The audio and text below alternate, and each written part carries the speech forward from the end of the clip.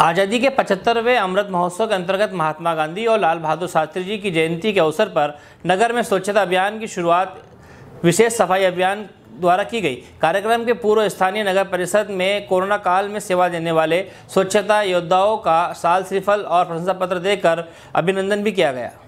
कार्यक्रम के मुख्य अतिथि नायब तहसीलदार नीरज प्रजापत रहे और अध्यक्षता पूर्व अध्यक्ष धर्मवीर सिंह चौहान ने की। इस अवसर पर अतिथियों ने कहा कि जिस तरह से स्वच्छता में पूरे देश में इंदौर की पहचान नंबर एक की है, ये हमारे लिए गौरव की बात है।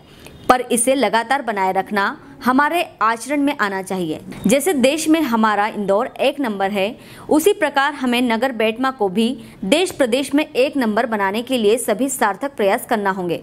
कार्यक्रम के पूर्व महात्मा गांधी एवं पूर्व प्रधानमंत्री लाल बहादुर शास्त्री के चित्र पर अतिथियों ने माल्यार्पण किया।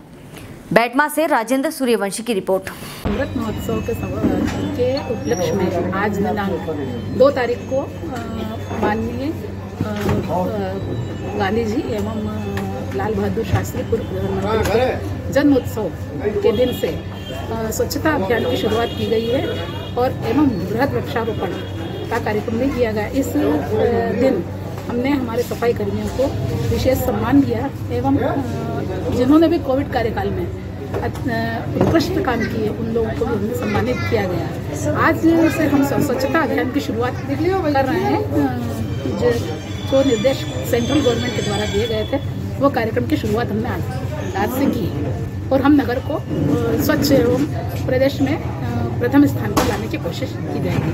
आपका नाम? लाएँगे।